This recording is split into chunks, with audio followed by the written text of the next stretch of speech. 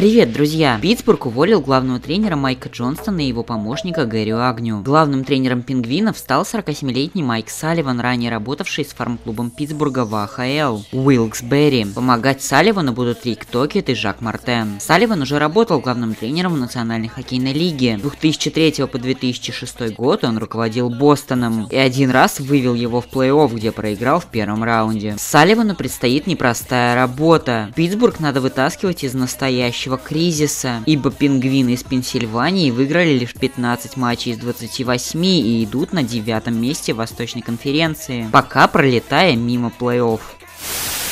А мы переходим к другим новостям. В воскресенье Чикаго дома обыграл Виннипег со счетом 3-1. И за полторы минуты до завершения игры Патрик Кейн ассистировал Артемию Панарину, отправившему шайбу уже в пустые ворота. Этот гол примечателен тем, что он помог Патрику Кейну побить рекорд Чикаго 43-летней давности. Результативная серия американского вингера достигла 22 матчей. Прежняя рекордная серия Чикаго была установлена Бобби Халлом в сезоне 71-72. А рекорд всей лиги принадлежит Уэйну Грецки 51 матч с набранными очками подряд в сезоне 83-84. Кейн с 42 баллами лидирует в гонке бомбардиров, Артемий Панарин набрал 27 очков в 27 матчах.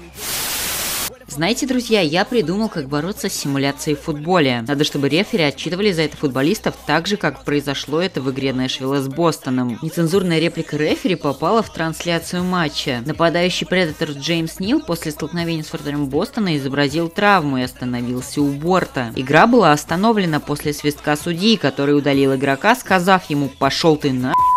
Это была Симуляция. Нил получил двухминутный штраф, а Бостон реализовал большинство за 8 секунд. Я, я пиарю дух великодушия в мире, где любовь извращена. Хотите посмотреть самый нелепый силовой прием сезона Национальной хоккейной лиги? Тогда внимание! Нападающий Нью-Джерси Джордан Тут хотел двинуть сопернику, но вместо этого вылетел за бортик. Он, разогнавшись в центре площадки, устремился на соперника. Но получилось вот так. Пролетев мимо игрока, Джордан на скорости въехал в бортик и вывалился за пределы льда.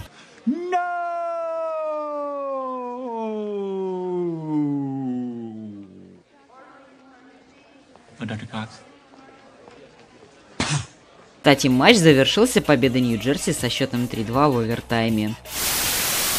Вообще на неделе было, как обычно, много интересных и красивых моментов. Вот, например, посмотрите комбинацию в исполнении игроков Колорадо.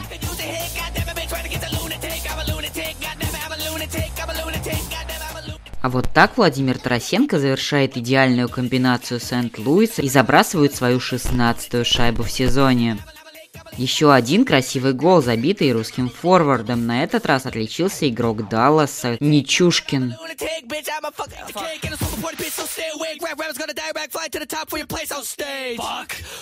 А вот еще посмотрите, как Никита Кучеров разбирается с Оттавой. Это, кстати, второй дубль российского нападающего в этом сезоне.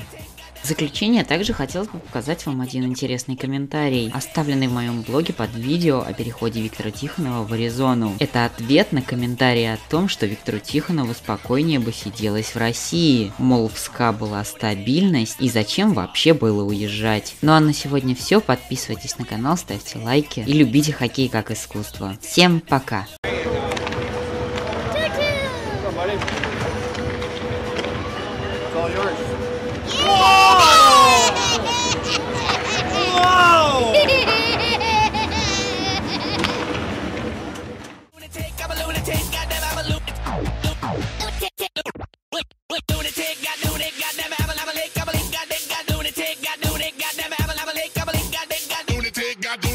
goddamn, I'm a lunatic, I'm a lunatic, goddamn, goddamn, lunatic, goddamn, I'm a lunatic, bitch, I'm a fuck. fuck.